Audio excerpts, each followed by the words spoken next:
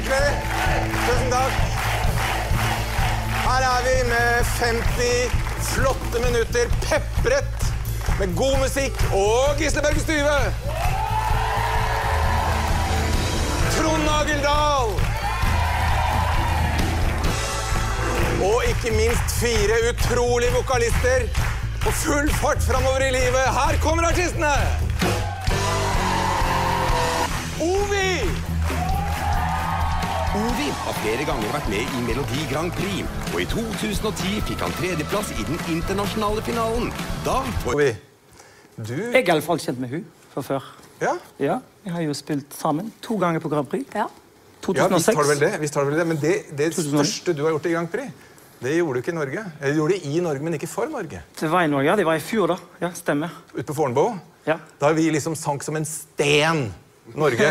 Så steg en norsk artist opp på seierspallen på tredjeplass. Jeg jo nesten Ja, du fikk tredjeplass for Veldig bra.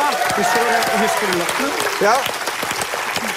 Åssen var den låten igjen? Nei, Det er litt sånn uh, Kan du det? Ja, ja.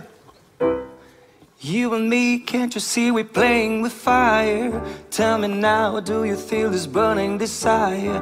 Don't stop, make it right, it's taking us higher. Could it be just a dream? Are you running away? Oh, ooh, uh, whoa, uh, whoa. if we get together now, we'll burn this place down. Playing with fire. Vanligvis så pleier jeg å ha min eh, andre venn. Bakgrunnen din Du er fra Romania Opprinnelig, ja. opprinnelig. Og så kom du på tredjeplass med den fine låta.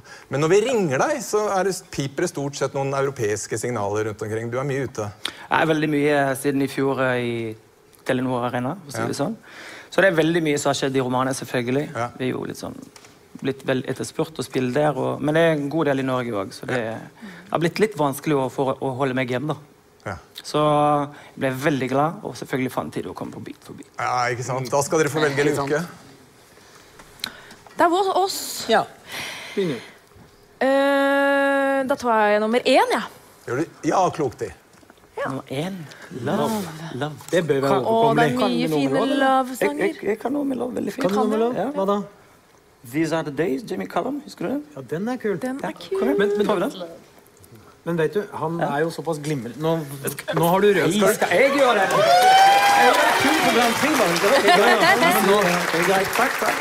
Du er en pianoman, du òg, ja. Jo da, selvfølgelig. Jeg skriver jo meg ned låter og sånn, spiller piano med det. Nagel, du kan uh, gå for Nei. Nå skal jeg sitte her. Du kan synge. Kan. Du kan bli med og synge. Ja, det kan jeg gjøre. Nei. Jo da.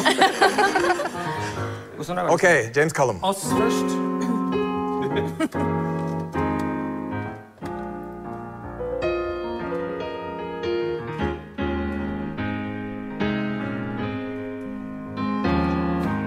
These are the days that I've been missing.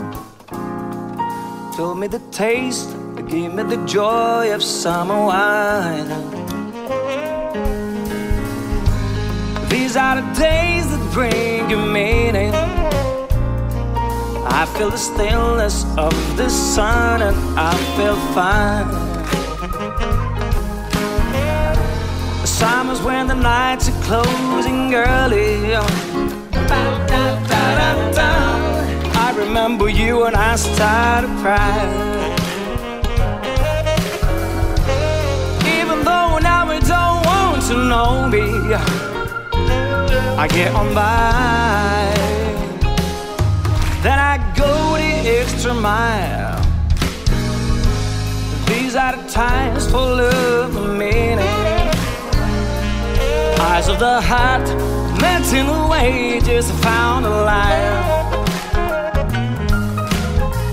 Ah, these are the days of endless dreaming.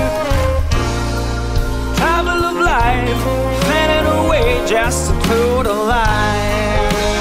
Yeah, these are the days. These are the days. Oh, these are the days. Nå skal vi synge